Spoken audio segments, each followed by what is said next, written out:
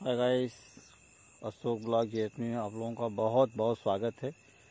Guys आप लोग ऐसे ही प्यार दुलार अपना बनाए रखें और अधिक से अधिक हमारे चैनल से आप लोग जुड़िए। गाइस आप लोगों के लिए हमेशा मैं वीडियो लाता रहूँगा और आप लोग मेरे चैनल को हमेशा लाइक करें शेयर करें। और यदि आप सब्सक्राइब नहीं किए हैं तो सब्सक्राइब ज़रूर कर दें। और नोटिफिकेशन का बेल ऑन कर दें ताकि हमारे द्वारा डाले गए कोई भी वीडियो का नोटिफिकेशन आपको तुरंत मिलता रहे। गाइस मैं आज यहाँ पे आया हूँ।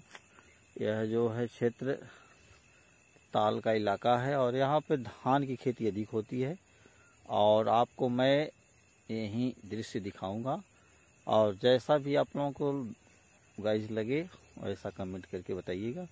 खेत में पानी अभी भी ज़्यादा है और निकलने की व्यवस्था पानी की कम है और इसमें थोड़ा सा ये निचला इलाका भी है, इसलिए पानी इसमें लगा रहता है। और मैं कैमरे के माध्यम से अभी आपको पूरा दृश्य दिखाता हूँ। जैसा गाइज़ आप देख सकते हैं अभी भी पानी है इसमें और धान इसमें कुछ खेतों में बालियाँ लटक चुकी हैं, कुछ में लटक रही हैं।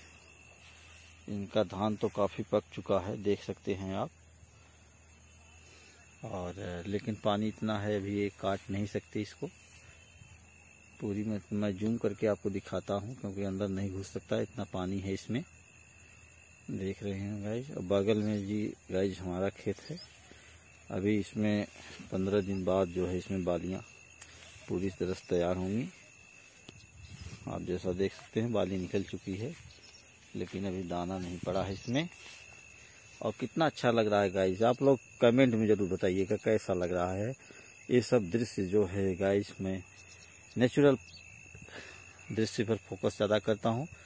आप लोग गाइस इस पर कमेंट करें लाइक करें शेयर करें, और हमारे चैनल को सब्सक्राइब ज़रूर करें। जय हिंद जय भारत।